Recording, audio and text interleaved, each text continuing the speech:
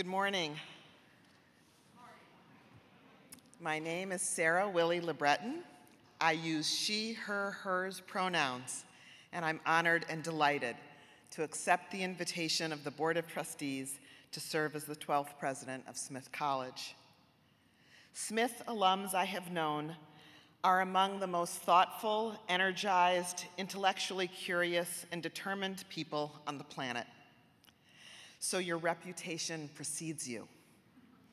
This is clearly a place where smart, passionate students come to learn, to grow, and to prepare themselves for lives of meaning and purpose. I need to say just a bit about the smart, passionate women who made applying for this position so compelling. Mary Gorman and Panay Varro of Spencer Stuart Executive Search Firm engaged me in wonderful and searching conversations. Board of Trustees Chair Allison Overseth and Search Committee Chair Susan Molyneux described Smith with love and candor. President Kathleen McCartney extended her friendship first on the phone and then in person. Secretary of the College Elena Palladino and Vice President for College Relations and Communications Julia Yeager have moved mountains to help me be here today. But I'm especially grateful to the members of the search committee, your search committee, who, repre who represented Smith admirably, asking difficult questions, and perhaps, since the easy questions never came, preparing me for life among Smithies. and life among Smithies includes a beautiful mission. The seriousness of Smith's mission cannot be overstated in a society whose highest institutions reveal a tragic ambivalence about the value and humanity of women. We live in a country that today is largely invested in three fictions that we all get what we deserve, that we are beyond race, and that the real reason women continue to earn less than men are underrepresented, excuse me, are um, underrepresented everywhere from Congress to the boardroom and the executive suite is because we want it that way. It's time to expose this genuinely fake news. Of course,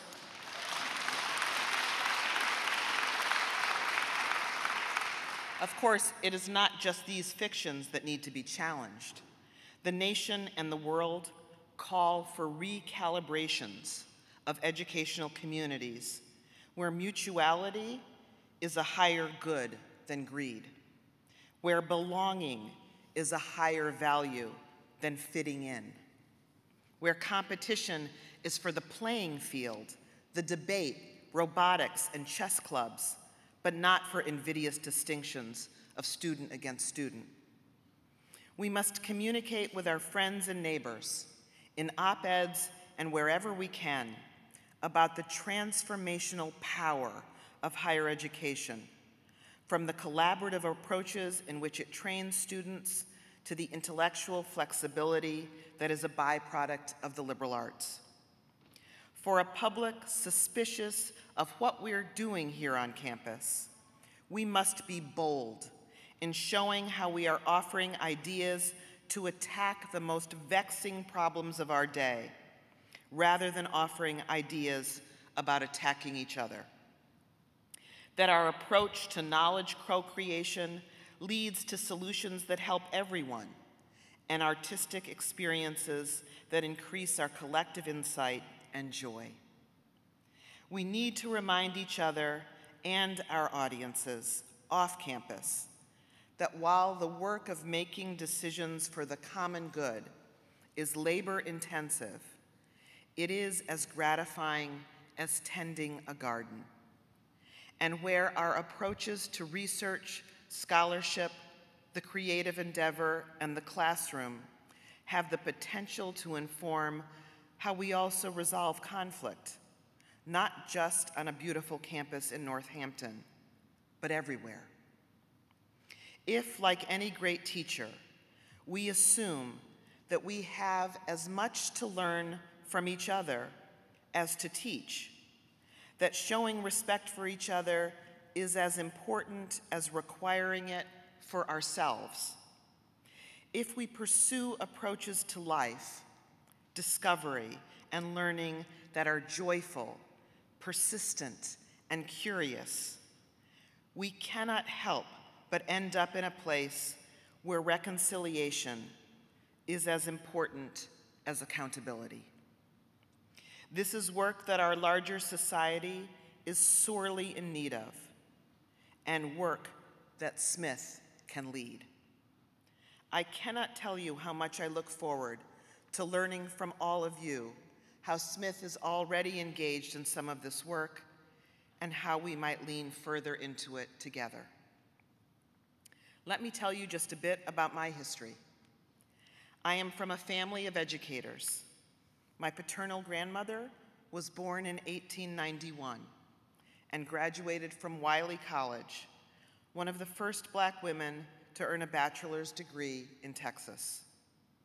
She was trained as a teacher, but could not find a job in the Dallas public schools, initially because she was black, and eventually because she was married.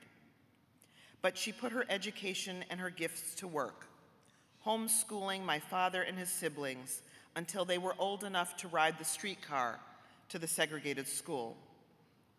My paternal grandfather went to work when his mother died and therefore had only an eighth grade education. But he and my grandmother sent my father and his three brothers and sister to college and to graduate school. My dad became a sociologist and a university professor. My maternal grandmother attended Keuka College, a women's school in upstate New York, for only one year before marrying my maternal grandfather. He too had only one year of college at Colgate before needing to leave for financial reasons. But the two of them sent their two children to college, and their daughters, too, earned advanced degrees. My mother is a retired church musician and teacher of singing. So while education was always the backdrop to my parents' aspirations for me and my siblings, most of all, my parents hoped that my brothers and I would live our best lives. With each passing year, I have come to understand that best is not to be confused with easy or special or deserving. To live one's best life, they taught us, meant to stay in relationship, even with the people we are most annoyed by in our community. It meant to discover ourselves and the world by engaging with work and the creative process. It meant remaining curious, assuming that we belonged, no matter where we were. It meant delighting in unexpected friendships, living authentically and ethically, taking the values of the places we found ourselves seriously, offering and receiving help graciously, and being a person for others. While I was an undergraduate at Haverford College, I took courses at Bryn Mawr and Spelman colleges. I am so pleased to call myself a graduate of Haverford. And I also know that the classrooms of Bryn Mawr and Spelman, it was in these places that I began to truly feel this experience that my parents hoped I would own a sense of belonging, and the right to a place at each table where I found myself, even if a place had not been set for me. And that feeling grew a confidence in me to participate in the consequential conversations at those tables, encouraged me, in other words, to live my best life. These women's colleges provided me with more models of women faculty, women provosts, women presidents, and classrooms where the majority of students were women. They were not magical spaces in the sense that the deep roots of sexism, racism, classism, heterosexism, and other systems of inequality had vanished. we know that when we swim in these waters, each of us gets wet.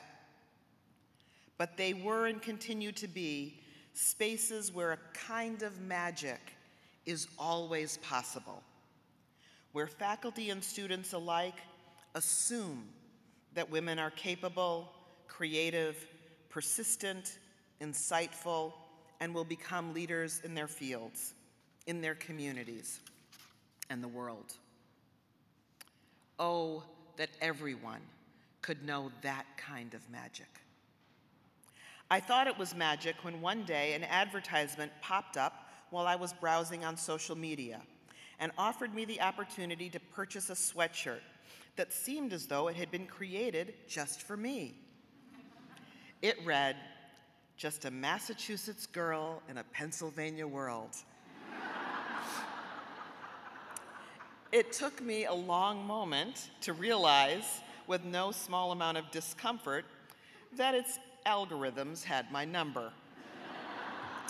Needless to say, I bought the sweatshirt. And on those rare Saturdays or Sundays, when I'm at home in the fall and winter, not heading to Swarthmore for a game or a performance, it's a favorite. I grew up in Massachusetts. I went to school in Concord, attended church in Cambridge. My mother now lives in Boston. My spouse and I applied for our marriage license in Great Barrington. Our son was born in Beverly. And on trips to visit my folks, we'd cut through Connecticut to be delivered to the Mass Pike at Springfield or Worcester. All to say that Massachusetts is home, and it will be wonderful to put the sweatshirt away and actually be home. That this is a place where students are exposed to and prepared for lives of creativity, research, lives of the mind, and citizenship, active engagement with their communities where they are expected to discover themselves, expected to become leaders who are as inclusive and collaborative as they are filled with conviction. And when they are not leading, expected to become the kind of followers who are passionate and prudent, analytical and inclusive, where the traditions and cultures of women across the globe are not only celebrated for what, what they once were, but studied and understood for how they are now and how they are likely to change. Smith has made of itself something so much more than Sophia Smith probably ever dreamed. If we were to rely only on typical performance indicators, Smith's success has not been guaranteed. Fewer students each year choose liberal arts colleges, and fewer students still choose women's colleges.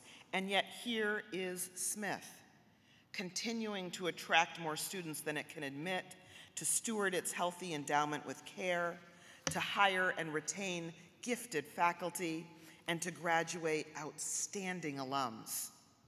Here is Smith with coeducational graduate programs and a commitment to helping adult students whose education has been interrupted to complete their degrees.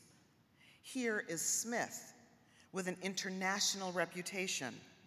Clearly, there is nothing typical about the transformative education offered by its faculty, the ambition and creativity of its students, the acumen of its administrative leadership, the loyalty and work ethic of its staff, the generosity of its board, and the devotion of its alums.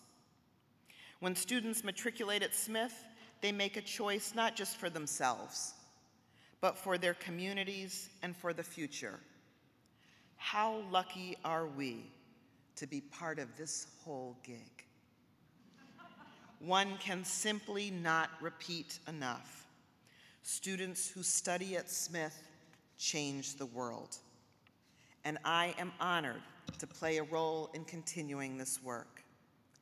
Thank you for your faith in me I look forward to meeting each of you and to beginning our work together next year.